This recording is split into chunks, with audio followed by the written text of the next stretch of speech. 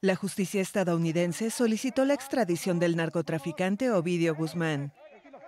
Fuentes del gobierno mexicano informaron el lunes que Estados Unidos presentó una solicitud formal a la Cancillería y a la Fiscalía General con el expediente con el que se acusa al hijo de Joaquín El Chapo Guzmán.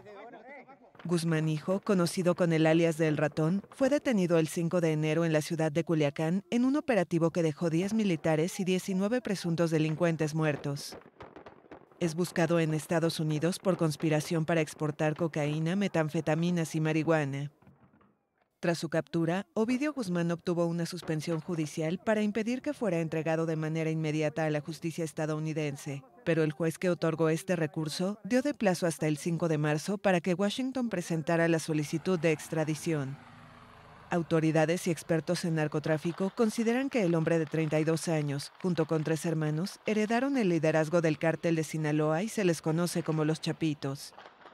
México de su lado acusa a Guzmán Hijo por delitos contra la salud, portación de armas de fuego y existen indagatorias por delincuencia organizada.